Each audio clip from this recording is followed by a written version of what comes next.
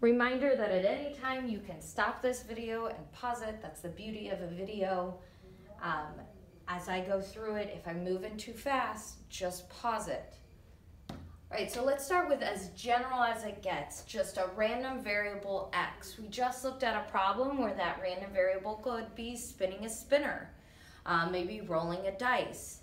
Just any random variable if it gives you a probability model. This could be in the form of a table, this could also be in the form of a histogram, or you're being asked to create a model from a given scenario. So the expected value formula is on your formula sheet. Another word for that is mean. And then we have standard deviation formula. Notice, this is really important. On your formula sheet is the variance formula not actually the standard deviation.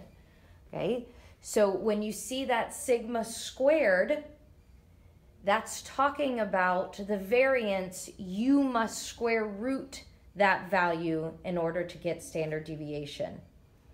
And the reason they're giving your, you the variance is because you're going to use the variance when you start combining the random variables. We're not going to be working with the standard deviation we're going to be working with the variance, and we will look at that a little bit more. Okay, so one of the mathematical things you might be asked to do is actually scale the x variable, the random variable. We just did this when we took our outcomes for the extra credit points and multiplied them by two. Okay. So if you're asked to change units, Okay? If you're asked to double something or triple something, you'll these are the hints that you're scaling your random variable. So if that's the case, then you will take the mean of the original variable and you'll just multiply that by the value of a, by the scale factor. The same is true for the standard deviation. You will find the standard deviation and just multiply it by A. You're not working with the variance here. You can just take the standard deviation and multiply it by A. The important thing is, is it is going to change. When we take a, a data set, a distribution, and it's from my right hand to my left hand, and I double that, the spread doubles. There is a change in the spread, which is why there is an impact in the standard deviation. Now let's look at shifting. When we add or subtract a constant, so again, I take the distribution set between my right hand and my left hand, and I add a number to it. Say it all shifts up this way, okay? Every point shifted the same amount. So where, yes, the center changed, the mean, you add the C, there wasn't a change to the spread. The spread of the variable, random variable will not change.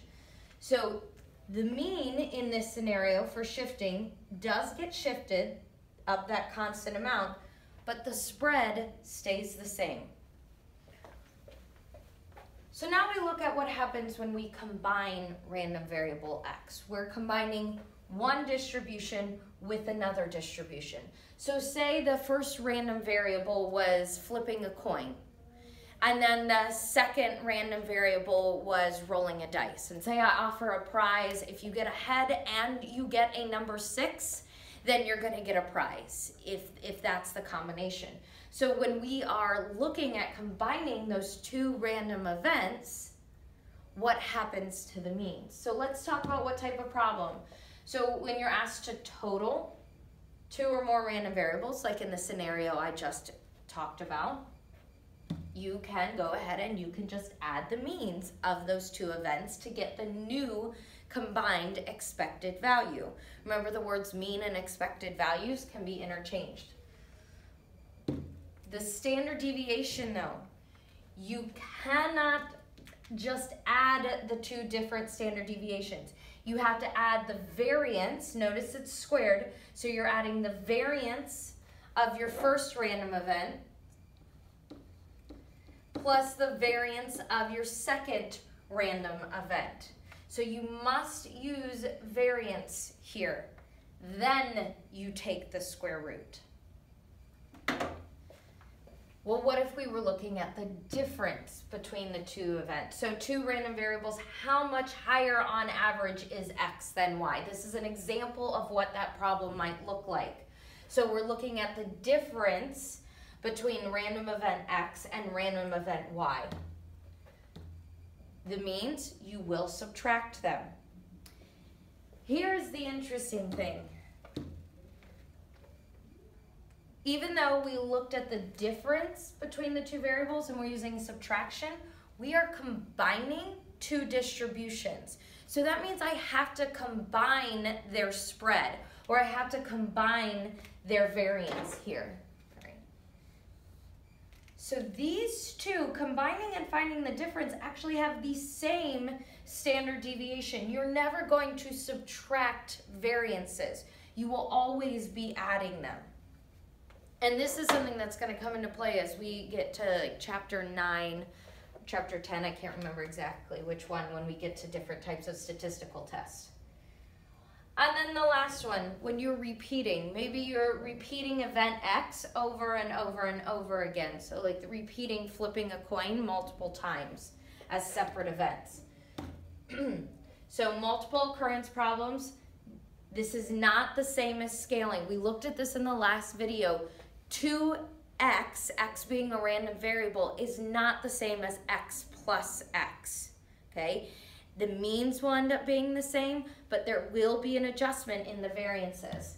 Okay, so the mean is going to be the mean of x plus the mean of x plus the mean of x. How many times you are adding it together is how many times you'll add the means together. but here for standard deviation, I have to take the variance plus the variance plus the variance, however many times I'm repeating this event. Notice it is addition, but it's the addition of the variance. And then the last step will be to find the standard deviation by taking the square root. The reason you have to use variance is because of the order of operations. Okay, I have to add these variances together and then undo the square rooting. I can't go in the opposite way. Make sure you get all of this down. Write down any questions you might have. We're going to look at more examples in class.